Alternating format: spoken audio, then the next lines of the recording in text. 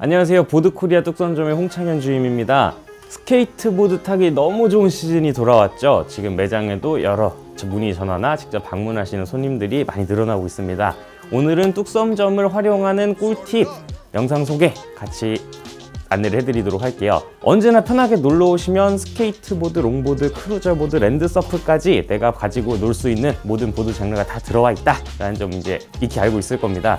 오늘은 대여 장비에 대한 팁을 한번 드릴까 하는데 뚝섬점 매장에서는 언제든지 강습이 있는 날도 없는 날도 일반 보드를 대여해서 시승 체험을 할 수 있는 서비스를 진행을 하고 있습니다. X게임장까지 걸어서 한 5분 정도면 도착을 할 수 있기 때문에 한강 공원에 잘 꾸며져 있는 고수부지 라인을 따라서 일반 cruising을 하셔도 좋고요. X게임장 공용시설 안쪽에서 보드를 즐길 수 있는 충분한 시스템이 마련이 되어 있습니다. 편하게 놀러 오셔서 같이 보드 즐길 수 있도록 저희가 준비를 다 완료를 해 놓을게요. 대여 장비 같은 경우에는 스케이트보드, longboard, cruiser board, land surf 그리고 보호대 헬멧까지 내가 필요한 모든 제품들 빌려서 타보실 수 있도록 간단하게 저희가 준비를 다 해놓고 있고요. 아직 내가 어떤 장르의 보드를 탈지 잘 모르겠다 하시는 분들은 대여하기 전에 일단 보드 위에 발 올려보고 아 이런 보드 크기는 이런 특징이겠구나. 설명도 한번 들어보시면 내가 원하는 장르를 선택하는 데 크게 도움이 될 것 같습니다. 자 첫 번째로는 longboard입니다. longboard는 말 그대로 보드가 길어서 longboard라고 표현을 하고 있어요. 사이즈로 봤을 때는 긴 거, 짧은 거, 조금 더 짧은 거 이렇게 마음 편히 이해를 하시는 게 좋고요. deck의 사이즈가 길어지면 길어질수록 발에 올릴 수 있는 이 발판의 넓이, 공간이 증가를 하기 때문에 주행 중에 안정성 있게 넓은 미리수랑 사이즈를 선택하시는 분들은 46인치 정도의 가장 긴 스탠스를 사용을 하시면 좋고요. 단순 길이만 비교했을 때는 1인치가 한 2.5cm 정도 되니까 사이즈 하나가 줄어들 때마다 5cm, 5cm씩 줄어든다 라고 이해를 하시면 될 것 같습니다. 트릭을 하시는 분들은 길이가 짧은 보드를 많이 선호를 해요.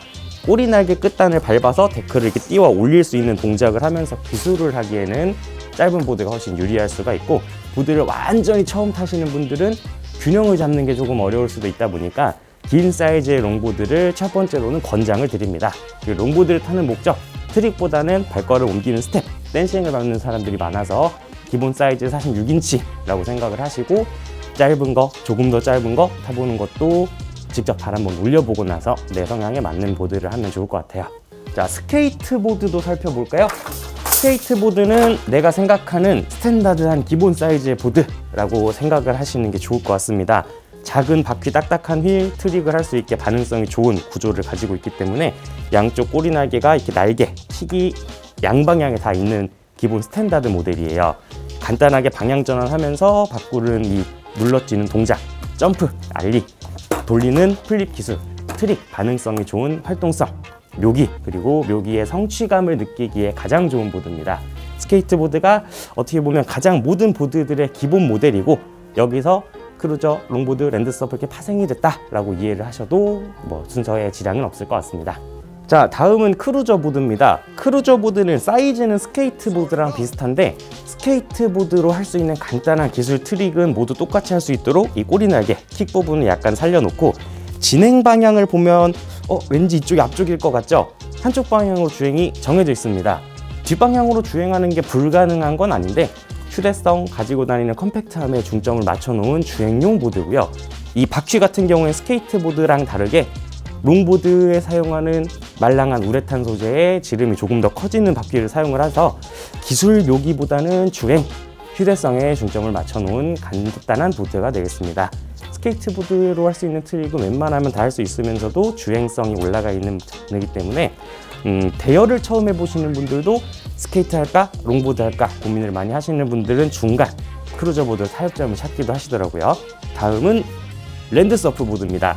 형태는 cruiser board랑 거의 유사하다고 보시면 되는데 발판의 deck 사이즈가 조금 더 길어지고 이 아래쪽에 있는 철제 parts 트럭이라고 하는 이 부분에 이 조향 각도가 굉장히 크게 턴이 깊게 들어가는 성능을 가지고 있어요 다른 보드가 앞으로 가려면 계속 발로 땅을 밀어주는 동작 push off를 하셔야 되는데 이 친구들은 발목의 간단한 움직임, 이 상체의 로테이션, 회전, 그리고 pumping으로 추진력이 생기는 보드입니다. 아스팔트 도로에서 약간 뭐랄까 파도 타기 서핑이나 그 자세를 그대로 재현해서 즐길 수 있도록 만들어주는 약간 특이한 보드이기 때문에 기술을 하거나 특별한 묘기를 하지 않고 일반 cruising, 주행만으로도 충분히 재미를 느낄 수가 있는 장르라서 스케이트 롱보드 크루저를 제끼고 인기 품목으로 떠오르고 있는 장르가 랜드서프가 되겠습니다. 실제 서핑을 즐겨본 적이 없다고 하더라도 난이도가 실제 물에서 하는 제품보다는 훨씬 더 쉽기 때문에 이거 한번 즐겨볼 만한 특별한 메리트가 있는 친구가 될 것 같아요. 자, 이상으로 대여 보드에 대한 간략한 설명들을 다 드렸고요. 안전 장비, 이제 헬멧이랑 보호대 같은 경우에도 매장에 준비가 되어 있기 때문에 직접 오셔서 사이즈도 한번 착용을 해보시고 크기 맞는 버전으로 데크, 롱보드, 스케이트, 크루저, 랜드서프 그리고 보호대까지 필요하면 렌탈 서비스를 진행을 하고 있기 때문에 놀러 오셔서 같이 즐길 수 있으면 좋겠습니다.